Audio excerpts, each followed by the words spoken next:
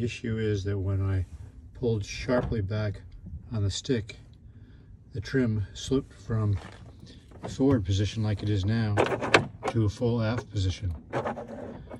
And the way that would have happened is if this assembly here slipped through this holder and then the cable goes through and comes out to the trigger grip. Now one thing I can see is that that the force that I would apply, um, the, the, force that would be on the elevator, you know, if there was extreme aerodynamic forces, really would have nothing to do with that slipping. Um, the only force that makes that move is is a force coming back on this, which is a force here, which is a force right there through through that spring.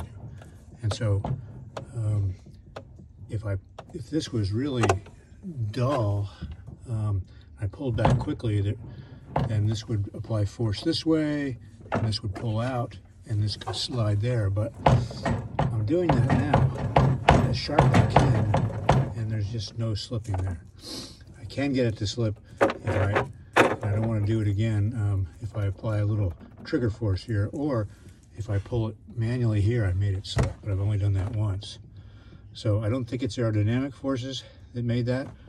Um, I sort of doubt that any any speed um, of pulling back would make it slip um, because I did pull back very sharply when it slipped to full full nose up trim. Um, I think I indeed had my finger a little bit on the trigger.